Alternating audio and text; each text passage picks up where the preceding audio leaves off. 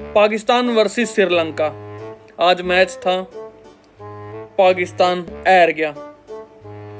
ढाई सौ का टारगेट बनाया था बयालीस ओवरा में।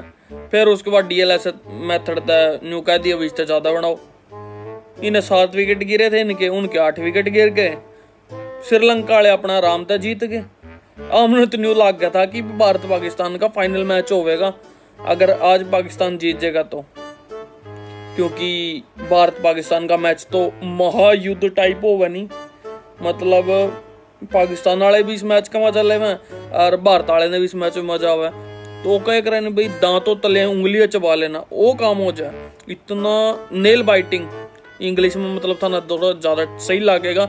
देसी कहावत बेशक नहीं अच्छी लगती हो। आज की सच्चाई यही है। पर मैं क्या कह रहा था कि नेल बाइटिंग मैच हो, बिल्कुल ऐसा लगा कि भाई ये बार जीतेगा ये पाकिस्तान जीतेगा। पूरा इंटरेस्टिंग होगा मैच चलो फिर भी कोई नहीं।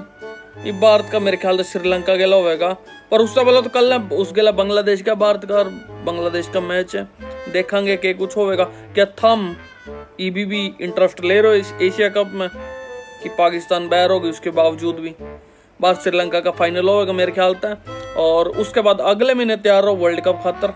ठीक है। और कमेंट करके बताओ, भारत की टीम में थारा फेवरेट प्लेयर कौन है?